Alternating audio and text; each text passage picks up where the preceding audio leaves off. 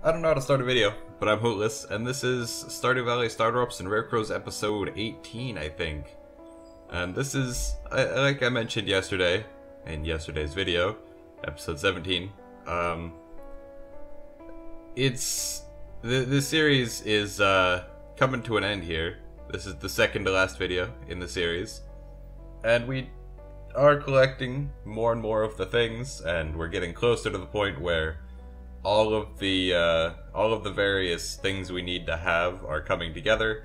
It's like in the uh, in the community center series, we only had like two bun- or two plaques completed, if that, up until about the last day, and then on the last day we completed everything at once. It's pretty much the same in this.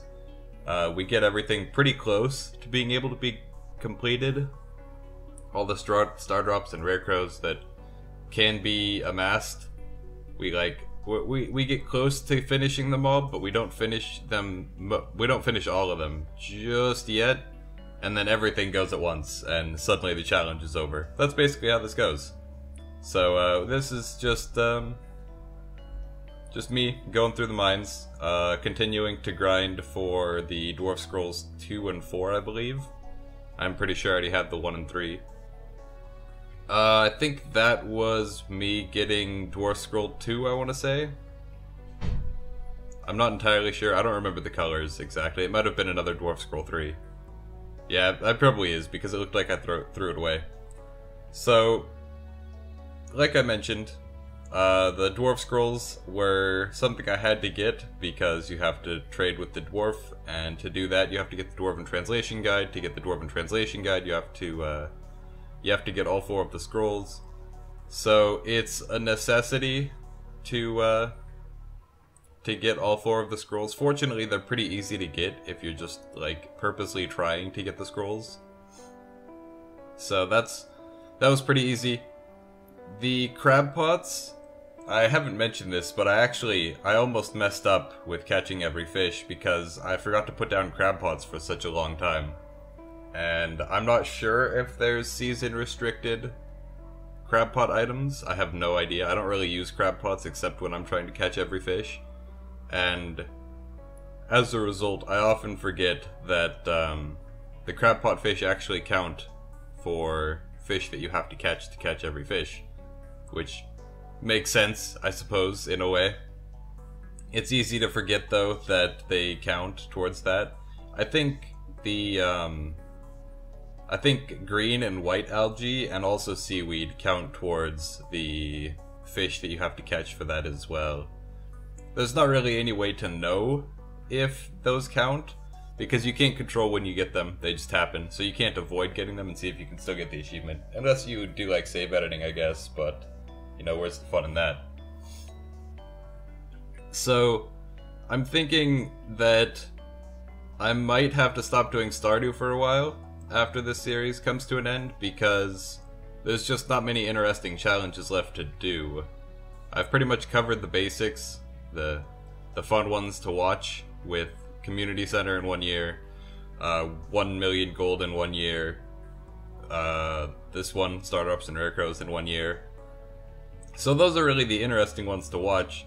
I guess I could redo it and do like, you know, one year get two and a half million, which would be much harder than getting one million, but I think I could still probably manage it. Or I could turn getting. Uh, like, I could continue on from the save from one year, one million, the series that I did. Uh, I could continue that on into two years, 10 million, and that would be something that I could do. Try to get another 9 million earned in the second year, which is totally possible. Uh, I actually already know how I would do it. Basically, it would boil down to um, I would use the 800,000 gold that I have, and I would buy many, many, many sprinklers and start planting basically as many crops as I can every season with sprinklers, just so I don't have to water them every day. And I would fill up the um, the greenhouse all the time with star fruits because star fruits, of course, are really good just doing the star fruits alone, I think would get me like I think I did the math and it was something like four million gold just from the star fruits in the greenhouse. Plus, I would get an absurdly large amount of money from growing star fruits during the summer, of course, I would, at the beginning of summer, buy as many as I could to fill up my as much of my field as possible, even if I have to water some of it at that point. So that would be basically that plan. Uh, if you guys want to see two years, 10 million, leave a comment down below because I can do that. Like, if you guys would be interested in seeing that challenge, I would be more than up for it, and it would give me something to do to continue Stardew Valley on this channel for a while. And yeah, I don't know what I'll do besides that. Um, I actually messed up there. I forgot that you had to upgrade your house in order to get married. So I could have finished this challenge sooner because I could have basically the only thing that stopped that made this challenge go on a little bit longer is the fact that I had to build up favor with Leah. That's the stardrop from giving Old Master Cannoli statue, the Sweet Gemberry, by the way. Um, the only thing that stopped me from completing this challenge earlier is I had to get up to 13 hearts with Leah, and that took time I probably could have finished it at least a few days earlier if I had already had my house upgraded, but I completely forgot that you had to do that. So we're coming up on the end of the video now. Hope you guys are all enjoying this series. This isn't the second to last video, so if you are enjoying the series, remember to leave a like, leave a comment down below, subscribe if you want to see more.